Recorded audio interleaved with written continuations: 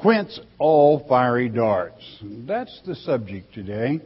And it has to do with the authority and the power that God puts in your hand in the closing days of this um, particular dispensation of time.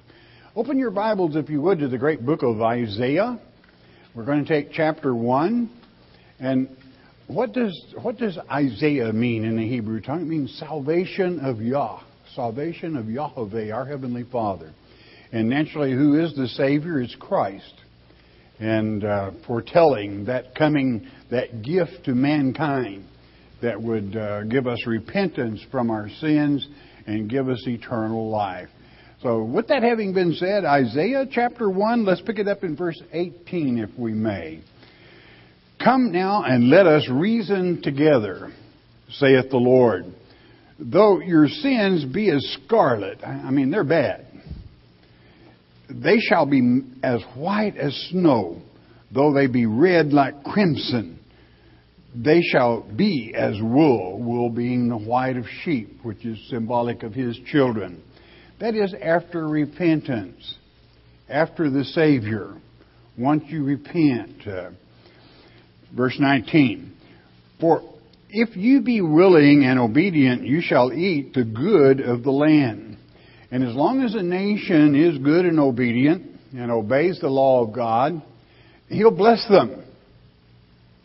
And the moment they stop uh, being obedient to Almighty God, you can rest assured you're going to have drought, floods, uh, uh, bad economy, it's going to fall apart, basically, in many places. And, well, is that because they're disobedient? Well, I don't know. What do you think? That's what God said. He meant it.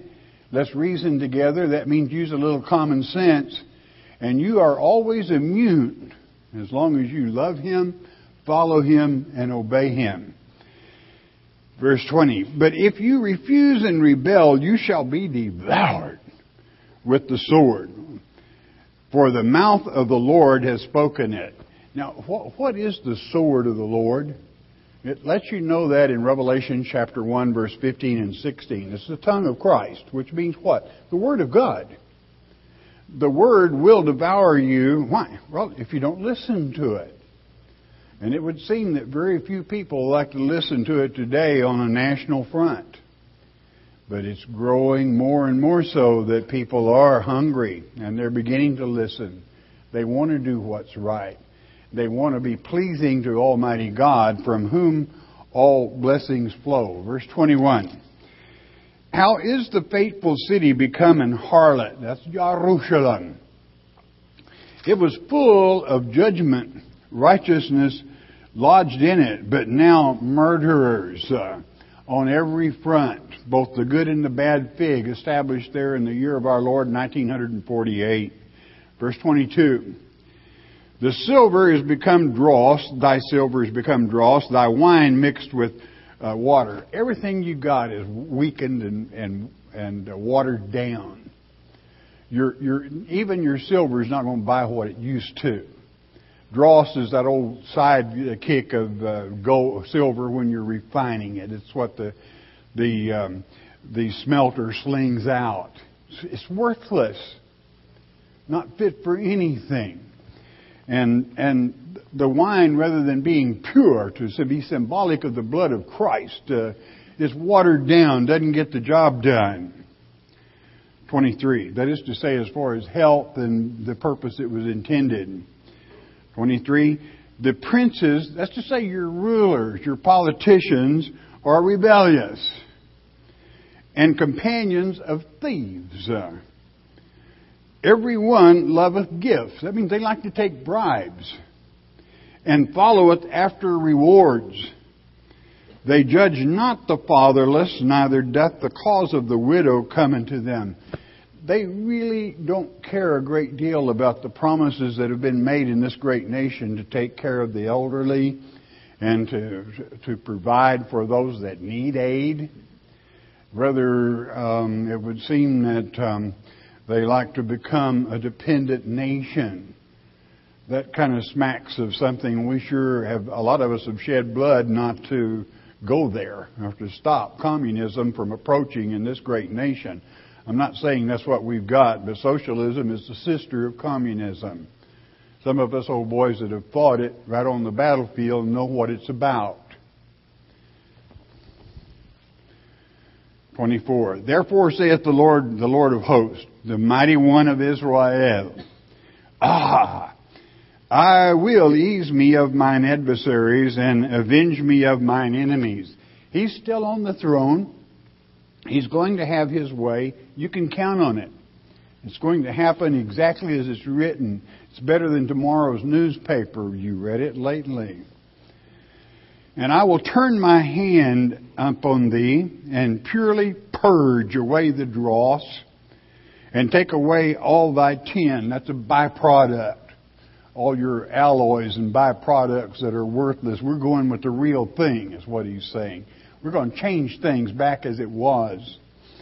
26. And I will restore thy judges as at the first. That's judges that go by God's law and commandments. Uh, general law established in, the, in Europe was later brought to this nation in the form of the Constitution, which was taken right from this word. And thy counselors as at the beginning. They're going to use common sense. They're going to reason together. Afterward, thou shalt be called the city of righteousness, the faithful city. In other words, it's going to be restored. Any way you want to slice it, that's coming. The misfits might have their day, but their day is drawing to an end because the day of vengeance cometh, and our Father is ready for it. Again, you that obey Him, you're immune, you're inoculated to that deception and that falseness, and you rise above it uh, with His blessings. 27 Zion shall be redeemed with judgment, and her converts with righteousness, those that convert to true Christianity. And the destruction of the transgressors and of the sinners shall be together, and they that forsake the Lord shall be consumed. And of course, God is a consuming fire.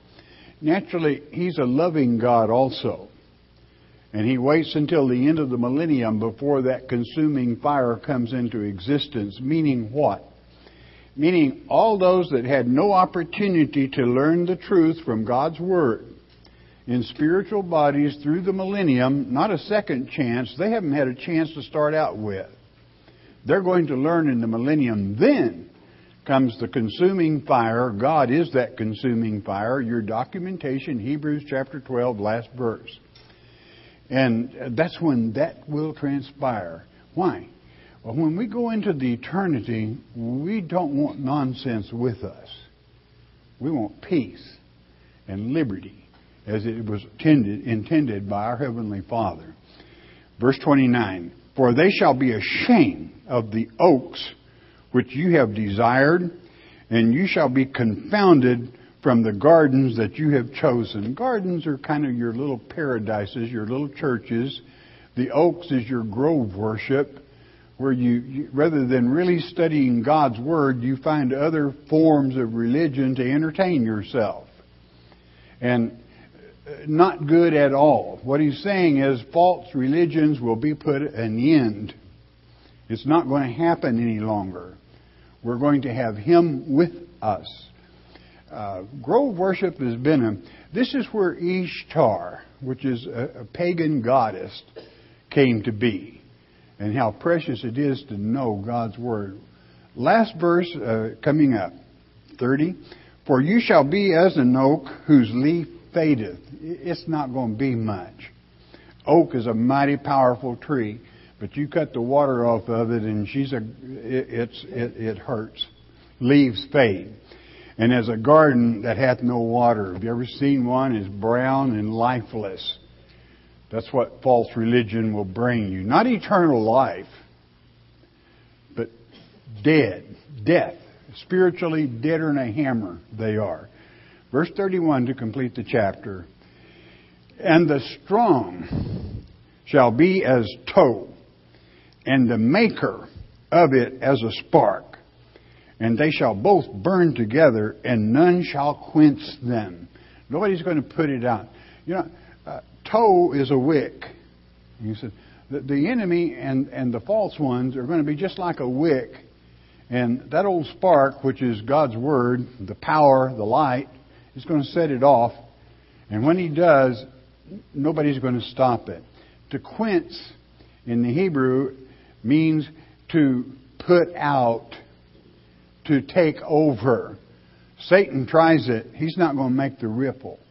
But you're going to. You're going to learn how to, to put out and to quench anything Satan might try to start. Turn on with me to the 34th chapter, if you would, of this same book. 34th chapter of Isaiah.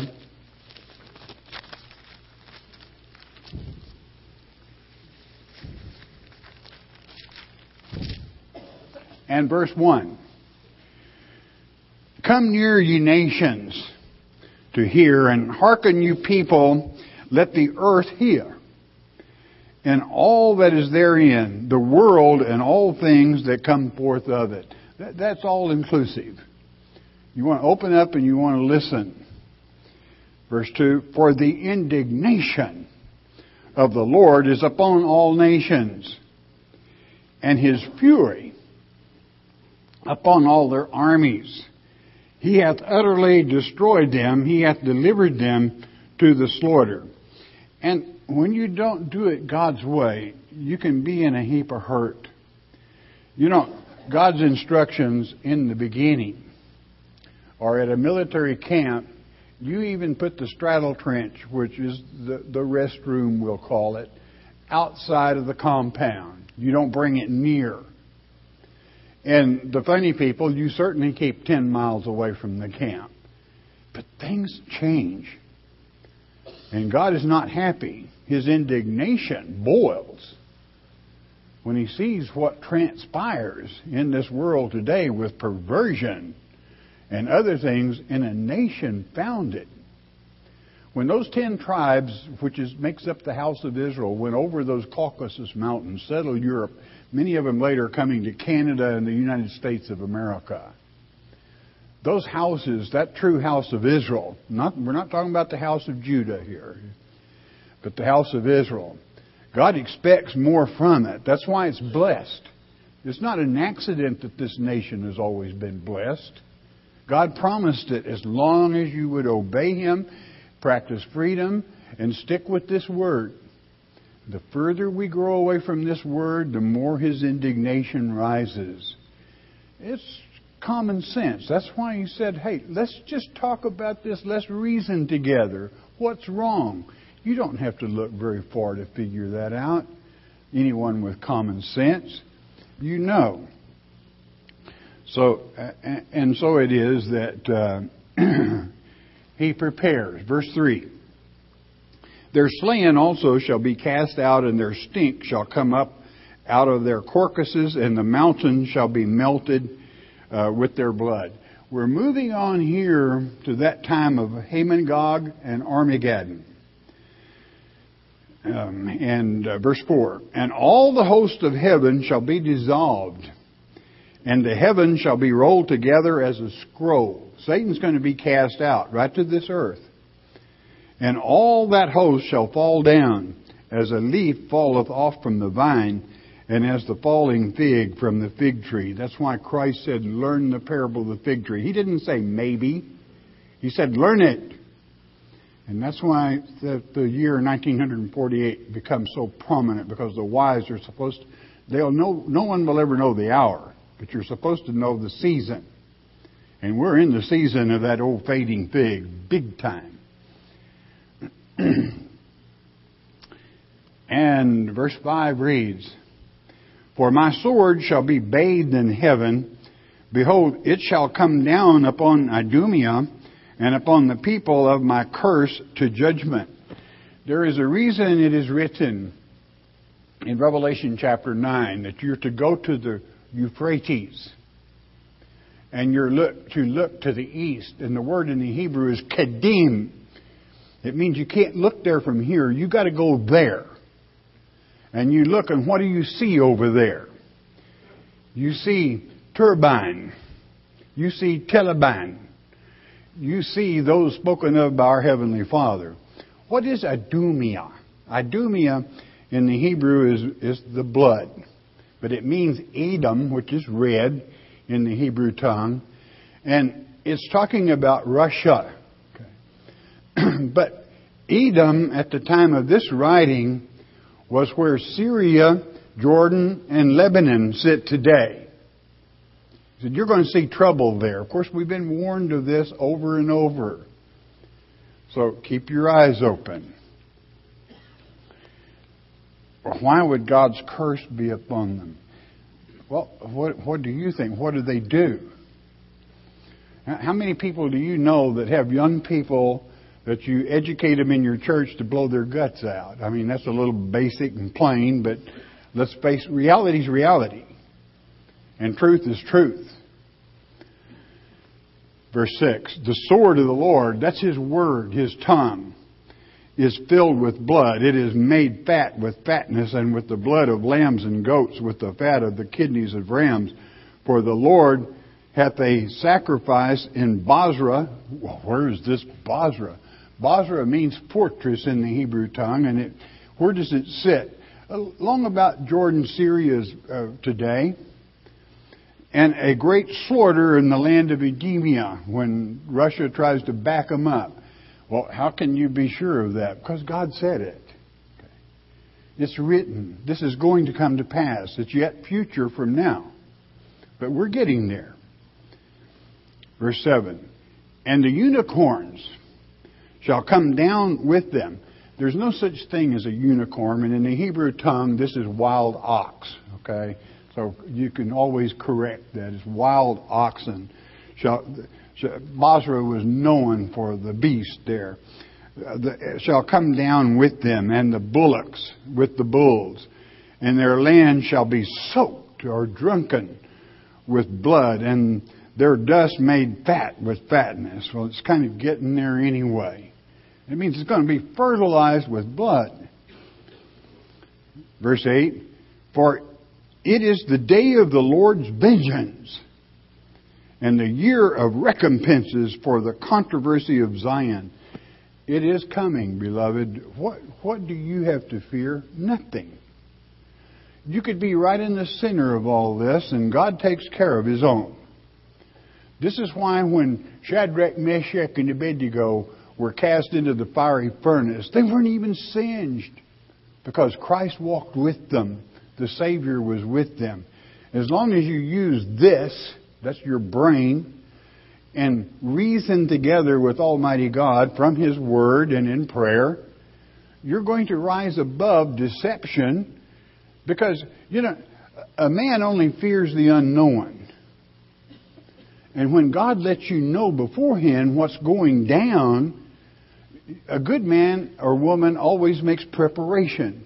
You're either going to go through it, over it, under it, around it, some way. You're going through. Okay.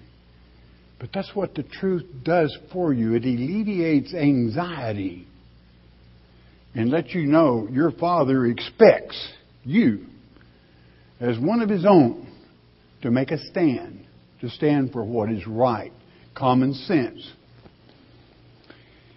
That day of vengeance is coming. When was it coming? Well, no one knows the exact hour, but it's in the generation of the fig tree, and that generation started in the year of our Lord 1948 when Israel became a nation again. On the map. That set the, that set the fig out. Both good and bad. The good fig and the bad fig. Verse 9 and the streams thereof shall be turned into pitch, and the dust thereof into brimstone, and the land thereof shall become burning pitch. Verse 10 to complete our reading here. It shall not be quenched night nor day. The smoke thereof shall go up forever. From generation to generation it shall lie waste. None shall pass through it forever and ever. Now, a little bit of understanding on this. What happens then? What happens at the seventh trump? That's what he's talking about. That's when the vengeance really transpires. We're all, as is written in 1 Corinthians chapter 15, 52, we're changed into our spiritual bodies. in a different dimension. What happens to this dimension is of none hurt to you. I mean, it's not coming back. That's what he's saying. We're never going back. Uh, you know, you can read in the great book of Genesis, way back in the beginning, chapter 6, verse 3, it grieved God that he had now made man flesh also. Where man could make his mind up, or, or am I going to believe in God or am I going to follow Satan? And that's been the controversy coming out the gate. So he, he didn't like it because he had to, he had created us flesh, but it was necessary to see what you were going to do because He gave you free will, freedom of choice.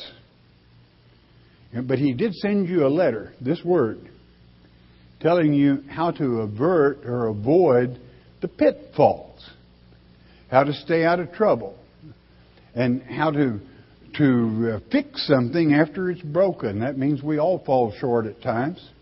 Big deal, all right? But repentance makes correction and, and you grow by it. And God is able then to use you. How precious it is. That day of vengeance is coming. And what it's talking about there is Hamon-Gog and Armageddon. There are two battles that shall be fought not by man, but by God Himself. It is written, I will cause hailstones when Russia comes down, Edom. And I cannot uh, uh, say other than it is my knowledge uh, that this is going to happen. This is why we bought Alaska from Russia. Is for a burial ground for them. That's where Hamon-Gog is going to be. Hamon-Gog is different than Armageddon. Armageddon will have to take place in the valley of Hinnom outside of Jerusalem. And perhaps I'm putting too much information into this, but that's a war you don't have to worry about. Why? Because of communism and false teachings. They say there is no God or God is this or He is that. He's that stump over there. He's something else. God wants to show them, as it's written in Ezekiel 38, that He's God. He's going to fight that war all by Himself so that anyone, if they ever had any doubt that God exists, they will see they will face it head on. They're going to find out He's very real. And so it is. Never leave God out of the equation of your life, or you're in a heap of hurt, my friends. Now, let's go to the. We're going to still stay in Isaiah, but we're going to the New Testament. Don't let that confuse you. Turn to uh, Matthew chapter 12 in the New Testament. Matthew chapter 12.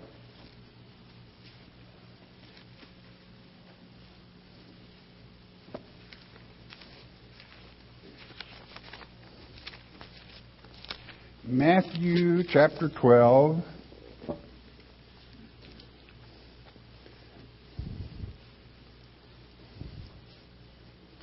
We're going to pick it up with verse 17. Verse 17 reads, continuing. This, this was when a, a big controversy over the Sabbath, and it was written that Christ became our Sabbath. And he's making it clear in this particular chapter. Matthew 12, verse 17. That it might be fulfilled which was spoken by Isaiah the prophet. So we're still in Isaiah, okay? If you want to make a note, it's 42 1. Don't go there. We're going to read it right here from the New Testament.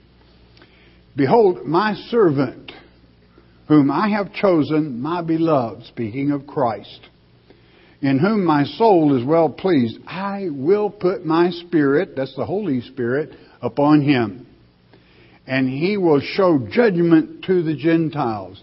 That is to say, other than the house of Israel, he's going to show that love and protection to all of God's children. He shall not strive nor cry. You're not going to hear him whimper when they deliver him up. Neither shall any man hear his voice in the streets. He, he doesn't make a lot of noise or anything. He just speaks the truth. Verse 20, a bruised reed shall he not break. I want to show you how gentle this is in the spiritual sense. You take an old reed and break it over, it's pretty fragile. If you shake that reed, it's liable to fall off. He can handle it however he wants to without furthering the break. Uh, okay? And smoking flax shall not be quenched till he send forth judgment into victory. Smoking flax is a wick in a lamp. You see, he's the light of the world. You're supposed to be a lamp of that light. And when, when you trim a wick of, and trim it, it makes a lot brighter light. But he can take scissors, I'll say, and trim that wick without ever putting the light out. That takes some doing. That's how gentle he is. Spiritually speaking, he's never going to dim your light unless you allow it to be dimmed. He's never going to allow the fire in you to be quenched. But that light, as long as you know His Word and His truth, and you make that stand to know you're one of God's children. And God doesn't wake up every day wondering, well, who can I zap today? No, He loves His children just like you love yours. And He wants the best for them if they'll behave. And, and um, He likes to lead, guide, and direct in a gentle way to those that love Him, those that care. Verse 21 And in His name shall the Gentiles trust. Now, if, if we were reading this in Isaiah chapter 42, when we come here, it would say, And I will give him power to heal the blind, and so on and so forth.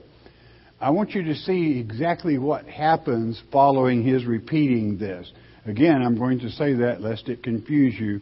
If we had read these same scriptures from Isaiah 42, which it's quoting, the very next verse would have said, And I will give him power to heal the blind. Watch what happens so that he was documenting to you that this scripture was coming to pass. Uh, and we pick it up in verse 19. Oh, I'm sorry. We pick it up in verse 22.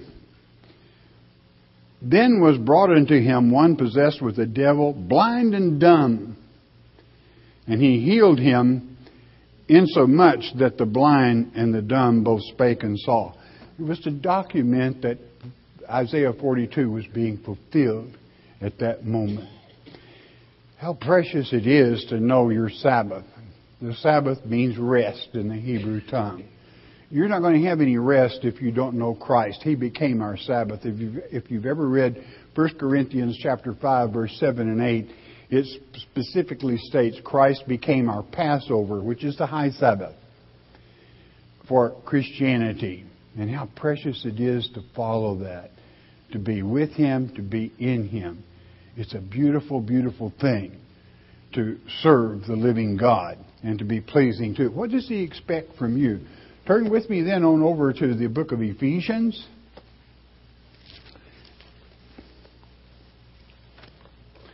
Chapter 6.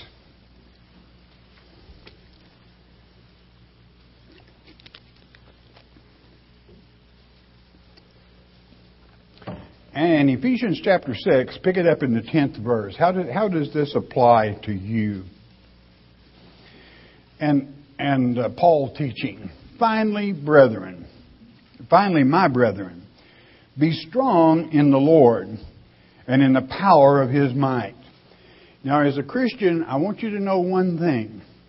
When you're at your weakest, all your strength comes from him and when you're weakest, He comes to help you when you're right. So then you become your strongest. So always remember that. When you're your weakest, turn to Him and you're your strongest because we draw strength from Him. He is our strength. That isn't, that isn't playing church. That's a reality. Christianity is not a religion. It is a reality. And um, verse 11 Put on the whole armor of God, that you may be able to stand against the wiles of the devil. You can handle anything he can put out. If you put on the gospel armor, which is, we'll explain here in a moment just exactly what it is, piece by piece.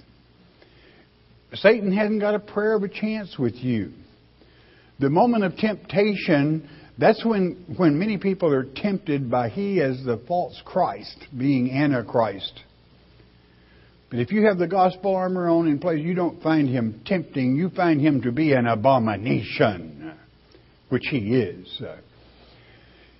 Verse 12 For we wrestle not against flesh and blood, but against principalities, against powers, against the rulers of darkness of this world, against spiritual wickedness in high places. That means even evil spirits and Satan trying to gnaw at your life, to change your life, to tempt you. Do you know something? He knows your weaknesses. He, he pays close attention. And many might say, well, well, I, I understand the word. Well, he does too. How did he tempt Christ in the wilderness? With Scripture. Satan can quote more Scripture than most Christians. Uh, but he always twists them about 90 degrees to make it a lie instead of the truth. Matthew 4 documenting that.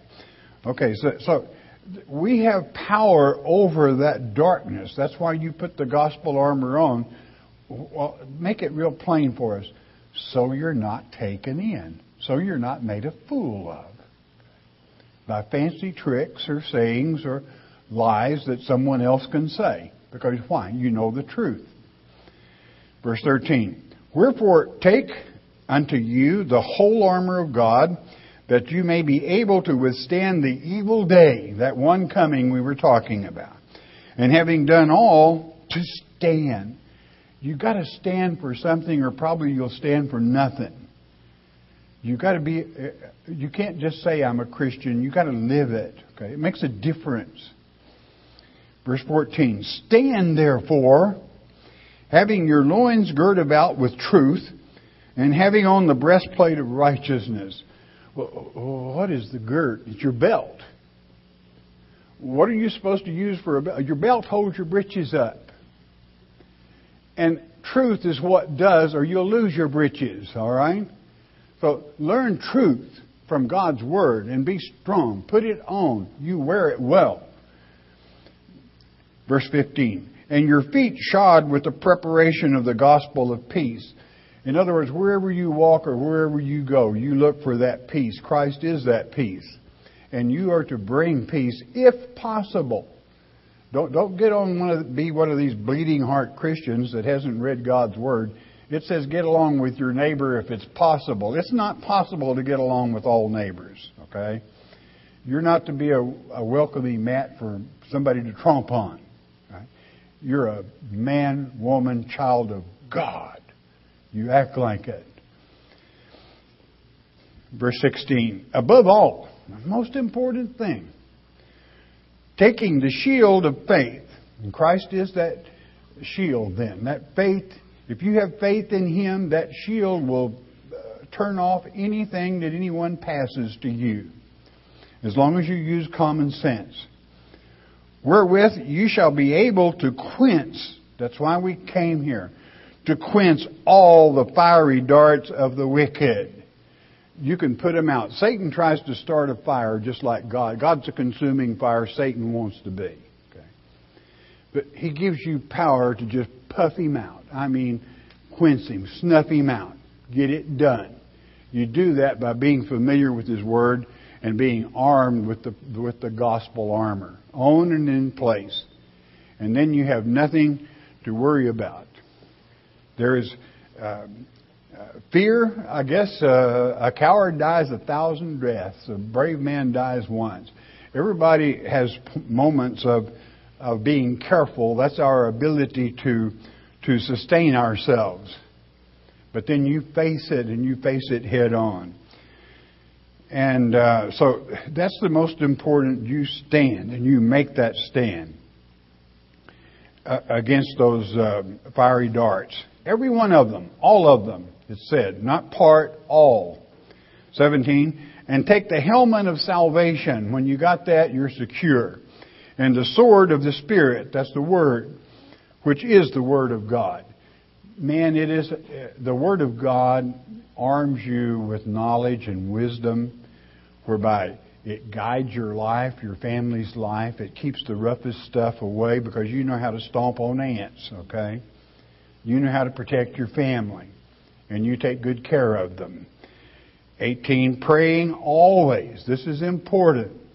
Praying always with all prayer and supplication in the Spirit, that's the Holy Spirit, of course, and watching thereunto with all preservation uh, and um, and, uh, per, um, and uh, supplication for all saints. Uh, and, and so it is, beloved.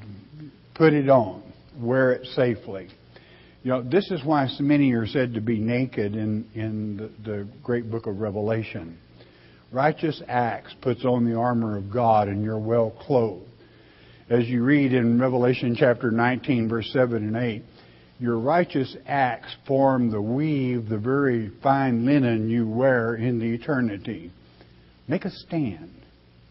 Let our Father know you love Him and that you're ready to serve Him. He will never leave you. He will never forsake you. Why? He loves you. You're His child. Heavenly Father, thank you, Father, for the Word. Thank you, for Father, for the written Word as well as your given Word, Father, in prayer and thanksgiving.